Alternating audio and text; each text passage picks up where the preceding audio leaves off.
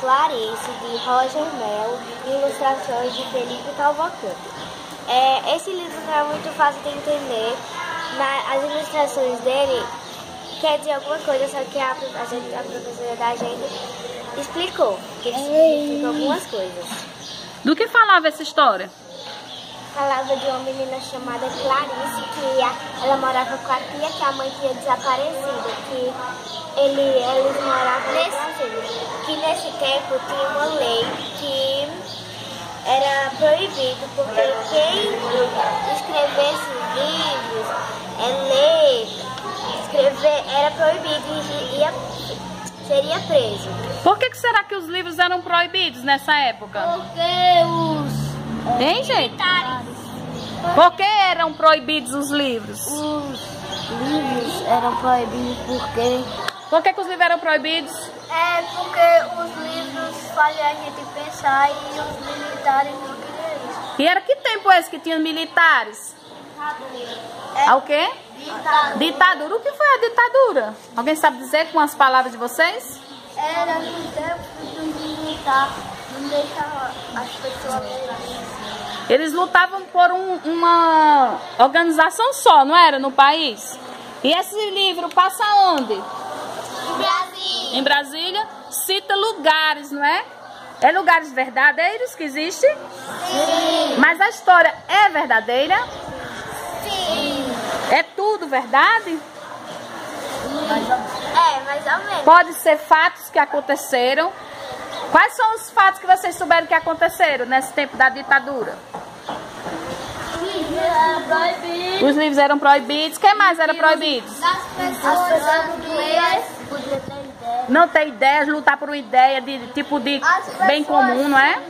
As pessoas desapareciam. Por que, que essas pessoas desapareciam? Podiam ser presos. Por que, que eram presas essas pessoas? Porque leiam livros. Porque só porque liam era? Não, porque pensavam. Pensavam Porque não podiam escrever livros. em, em Esther. Tinham mais ideias. Tinham ideias de, de quê? Uma ideia só pra ele? Era só pra ele a ideia? Não, Para uma sociedade, para o Brasil, não é?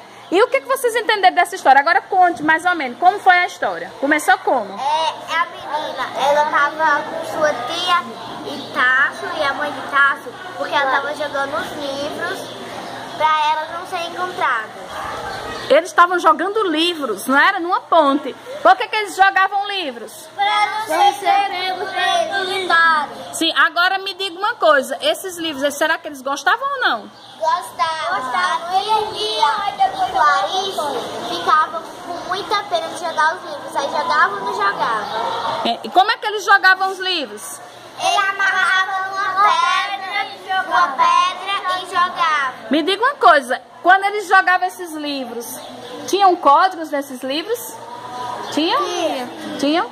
Tinham códigos, palavras que não podiam ser contadas para qualquer pessoa. Tinha uma pessoa também que aparecia na história. Quem era? O primo. O primo, com quem eles ficavam mais tempo, não é? A história já entrega tudo, tudo assim, já tá tudo pronta. Não, ela é muito misteriosa. É misteriosa. E essa história é o quê? Um sus? Sim. É um suspense. Ah, É importante a gente ler essa história? Sim. Por quê? O que, é que vocês aprenderam hoje nessa história? Que é importante a gente ler e escrever. É importante a gente lutar por nossos direitos de ler, de escrever, de fazer poemas. Liberdade. Peraí, um de cada vez. Lutar pela liberdade. Lutar pela liberdade. No fim, qual foi a mensagem que ficou com esse livro de Clarice? Houve um tempo em que as coisas eram proibidas. Hoje ainda às vezes podem censurar, né? Hoje ainda pode dizer, ah, você não pode fazer isso. O que, qual é o, que, o que, é que a gente faz a gente não ser preso, no sentido na mente da gente? O que é que faz a, gente, a nossa mente não ser presa numa ideia? Não pode alcançar. Então, o que é que faz a gente não ser mais preso nas nossas ideias? A gente ser, ó, mudar. É, o que é que faz? Hein, gente? A gente lê. A gente Lê. Mensagem final do livro. A importância de quê? De ser de ser o quê? Livre. Para quê? Livre para o quê? Ei, voltar pro seu canto. Voltando. Você lá livre de que que você disseram? Era livre para o quê? Para pensar, já disseram. Livre para pensar, livre para o que mais? Rodrigo, preste atenção. Para se expressar. Calma. Vamos lá, é para falar, não é só um que fala não, todos. Livre para se, expressar. Livre para se expressar através do quê? Para se expressar? Da imaginação. Da imaginação? Através do que que a gente fica, por exemplo, se expressa? Através dos livros. Dos livros, da leitura. O que mais? Só através da leitura? Não. O que mais? Das histórias. Das histórias, mas leitura é história. O que mais? Arte, música. Música. Nessa época era proibido? Era. Era. O que que acontecia no cinema, hein, Andriele? Os filmes eram... Pera, Andriele vai contar mais ela. O que que acontecia no cinema nessa época? Fale. Fale alto. Eram cortados. Os filmes eram cortados? Por que, que os filmes eram cortados? Porque tinha partes Tinha partes que pensavam. que faziam as pessoas Pensar. pensar e lutar pelo quê? Não, Pelos seus direitos. Era só para eles que eles pensavam? era para todos. Para todos. E houve gente que lutou? Sim. Por isso que hoje nós podemos contar essa história. Como é o nome dessa história?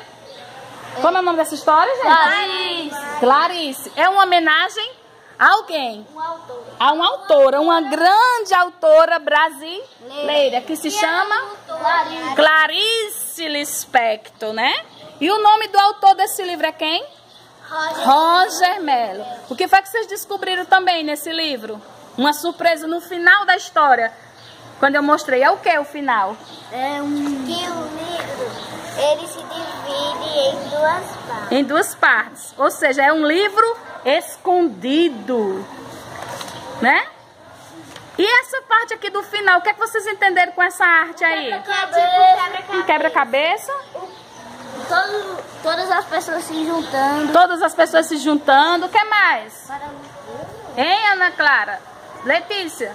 Esse, isso aqui quer dizer o quê? É um quebra-cabeça Era um quebra-cabeça?